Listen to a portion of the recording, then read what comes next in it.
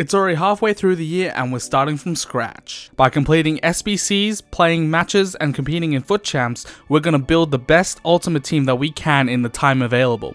Welcome to my FIFA 17 halftime road to glory. That's right, ladies and gentlemen, welcome to episode number 26 of the halftime road to glory.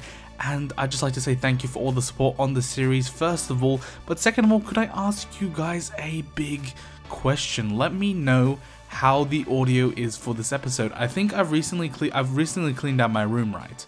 And I've moved my computer around and I'm wondering whether or not the background noise is very evident. Also on top of that, how bad is the echo? Because I can I can hear an echo, but I'm not sure how much it impacts you guys. So let me know down in the comment section below, and let's get into the video with a whole bunch of gameplay for this episode.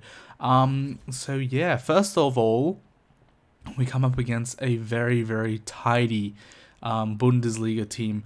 Not one that you would see very often in um, the later stages of FIFA, but definitely one you would see earlier on in FIFA. And Messi manages to wiggle his way through the gaps to make it 1-0. But let me just not talk about, you guys can watch, you guys can watch the um, the footage and the gameplay unwind for you on your screen over in front of you.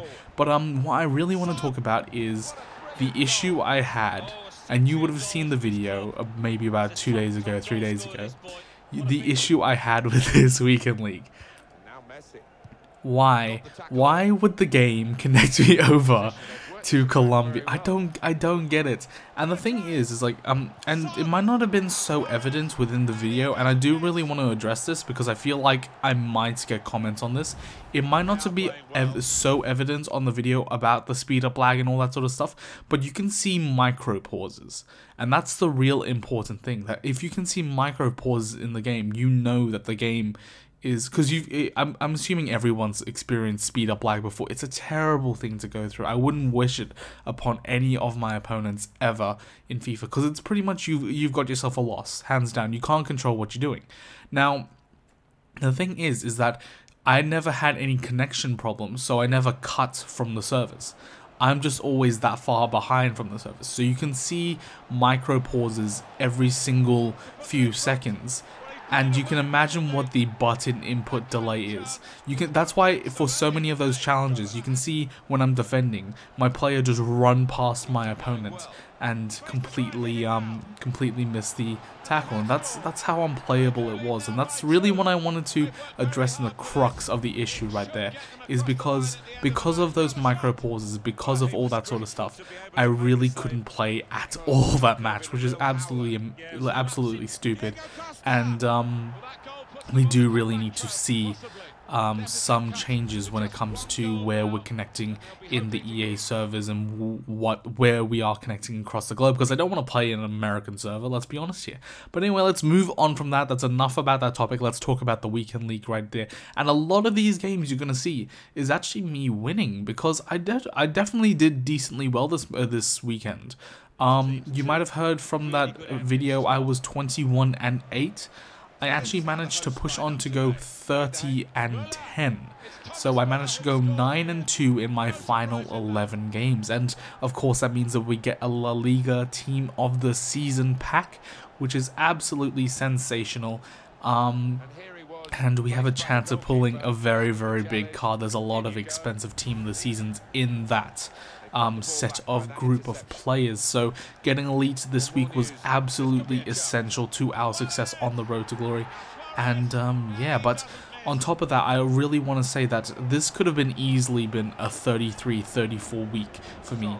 Um, I was playing decently well. If you discard that one game where um, we had a bunch of um, connection issues, um, you'll see another game coming up as well where I managed to absolutely dominate my opponent. He had two shots, two shots on target to my 14 and like 8 because my players were all missing stuff. And um, and I just couldn't win. He won 2-1, scored a goal in the 90th minute to win the match, and that was pretty much it. So it was that sort of weekend where I'm really, really close to winning those matches. I just need that extra edge, and that brings me on to my next point, which is um, I don't think the Calcio A team is good in the standing that it's in. The problem with it, right, is, and I really, really want to talk about this because this is going to lead onto a big decision I've just made, and um, I've sold on a whole bunch of players, is that um, with the Calcio A team, you don't have the strength up front. You the all the players are super short. They're like 5'9", 5'10". I need that Suarez type char character. So we're gonna have to re, re redo the team a bit, and that's gonna lead me to selling on Subasic, Tolisso, and Fekir. And I'll probably keep Aurier. Aurier is a very, very decent right back, and I spent I spent 8k on him because of all the hype and stuff. But um, might use Marquinhos later down the line, so we might as well keep um, what's his face Aurier. We might as well keep Aurier. And this opponent right here you might look at the gameplay right. This dude was super unlucky, I have got to say. Like, look at this, right? So the first, oh, the fir like, I've actually played against this dude before multiple times. He finishes top 100, uh, not top 100, but um, at least top 50 in the region quite regularly. And um, and unfortunately for him, this match, you, will see the third goal. The second goal was actually very beautiful. Mertens a nice pass into Tolisso. Tolisso there with a double tap finesse across the keeper to make it 2-0. And then um, his third goal, like, what is even going on? And he was messaging me after saying, it's just fun when you De Gea just does stupid stuff. Look at this.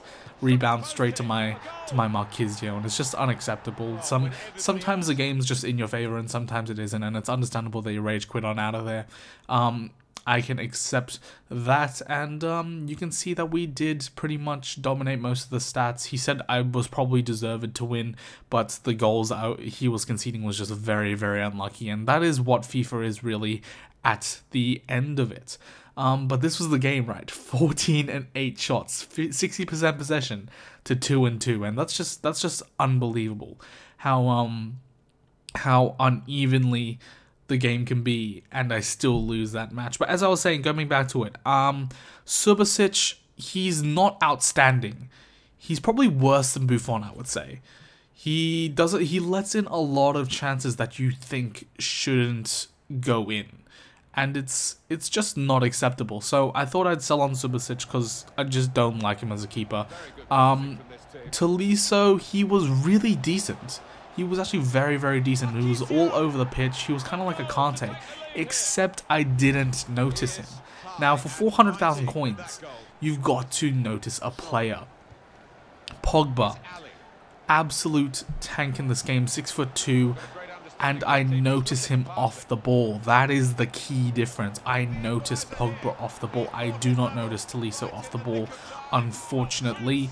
So, um, and he's only 5 foot 11 with 4 stars, uh, 3 star, 3 star. So, um, I don't really notice him off the ball, and for that reason, I got to say, I'm gonna, I'm gonna have to sell him. I really am gonna have to sell him because, um, because I can invest that 400k elsewhere better.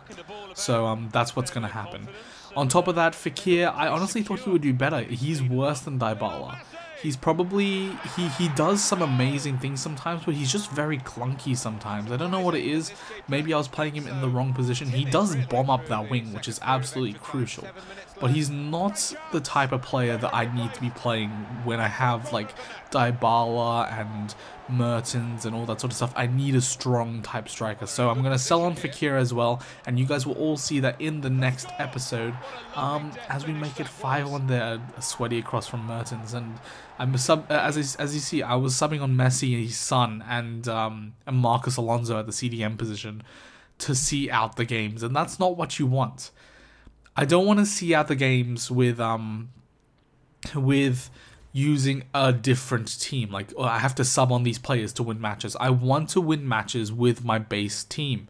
And um, that's the problem I'm having really, is that the team is just not physical enough, it's just not skillful enough, it's just not agile enough for me to actually win those matches first time. So that's the reason why I'm going to change up the team um, but it was a fun experiment. I actually really did like Marquinhos. Marquinhos is actually very, very good. He's very fast. Um, he's got great tackling and um, tackling and physical stats. And he bullies off people like Ronaldo, like um, Suarez, like uh, who else? Like that wants to watch Dembele all the time. Yeah, that card is so stupid. It ruins me every single time. Um, but yeah, so those are the sort of cards that Marquinhos is able to body off, and that's what we really, really need from someone like Marquinhos. And look at here, nice little pass from Messi to Suarez to make it 3-0, and um, a bit of speed up lag, as you can see there. I always get hit with speed up lag. I don't know what it is, but um, unfortunately for me, that's what I, have I just have to deal with it and I just have to get through it unfortunately. And it probably will cost me about one or two matches every single weekend league. So that's very very unfortunate. But we're gonna come up into the final game of today's episode guys. As you can see Son, Martial and Dembele. And this opponent was just another class. I'm gonna say that right now. 4-1 he's beating me. Um, and I didn't really want to show you the goals because they were just like I, I don't have the time really. I really wanted to cram as many games into this episode as possible. So I'm going to finish it off here and he's going to make it 5-1 with a nice little double tap from Martial. This opponent was just very, very good all round and um, absolutely ruined me with that Dembele. And he made it 5-1 and that is going to be our final match of um, the FUT champs. But as I said, I didn't really matter losing this match that much because we had already got 29 wins, and as you can see, he was very much the deserved opponent. Um, more possession, more shots on target, more shots. So I will happily take a loss there, but from that guys as you can see right now we managed to finish on 30 wins which is currently at the time 82nd in the world obviously I've dropped out of the top 100 but that is 30 wins with um, 10 losses for the weekend league, which means we get two team of the season La Liga players. I'm hoping we can get someone big. Can we get some money? That's what we really, really need. Um, so yeah, that is what I'm really, really hoping for. That is what we need. Now, looking back on the team, as you can see, I was also playing the 4-2-3-1. I think it's very defensive, and I don't think it's the best when you don't have Ronaldo's and Suarez's and Messi's up front. So I'm just not going to use that formation from now on. As I said, Subasic, I thought he was alright. As you can see, 17 games played because I started using the other team more so for those final games to try and win those matches and I didn't think he was that good. He he let in a lot of silly goals that I don't really um, expect from my goalkeeper. Marquinhos, absolutely sensational. I actually brought him on as a CDM, so, as a super sub, because um, he's very, very good at the CDM position to just close out games. And uh, Tolisso there, six goals, four assists in 26 games. Obviously, he's obviously he's playing the CDM position, but as I said before, I will sell him on because I don't notice him, which is unfortunate. It's so unfortunate. Um, I really, really hoped that I would notice him a bit more. And then finally, Fekir, um, we bought him for 72. I think we're going to sell him for about 67, so we take a bit of a loss on him. But um, 17 games, 6 goals, 4 assists, he's not really doing that much. And he, I, I really thought Dybala was a lot better than Fekir. I don't know what it was about Fekir. I just couldn't get his groove going. Maybe a Lacazette would have been better in that position. But to finish off the episode, guys, we are going to finish off with um some Liga Santander um, premium upgrade packs. And for next episode, what I'm gonna do is, cause there's a Fernandez, I'm gonna try and do the Suarez SBC. So I'm gonna sell on all of the players that I get um, that I want to sell on. Then I'm gonna start doing some more of these upgrades. Gonna get a whole bunch of players and just complete the Suarez SBC. I think that's what we need to do. Um, get a whole bunch of packs for the Calcio A, and then so next episode, guys, we're going to be getting that Fernandez card. We, I think it's Fernandez. We're going to be getting that Fernandez card. We are also going to be getting um, probably SBC Suarez if I can get it all done in time. Then in the next episode after that, we'll have the La Liga Team of the Season pack to open, as well as the Calcio A pack opening. And then finally, we're going to be doing some FUT champs in the next episode. But to finish off the episode, guys, I thought why not open a Prime Gold Players pack, considering we have so many packs. La Liga Team of the Season is out, and we open the pack, there's no walkout, so there's no La Liga Team of the Season. But we do manage to get a Fonte 83 rated card. Um, very decent. I will use him definitely in SBCs because he's going to be useful. Same with John Terry. John Terry is also going to be extremely useful. But that's going to be it for this episode, guys. Hopefully you did enjoy it. Next episode, the team will change dramatically, probably somewhere back to the original team. We'll also be going to be going for that Fernandez card. And, um, completing SBC Suarez. But that's going to be it for this episode, guys. Hopefully you did enjoy it. Leave a comment down below telling me what you think about the audio situation. And uh, drop a subscribe as always. But until next time, I will see you guys in the next episode.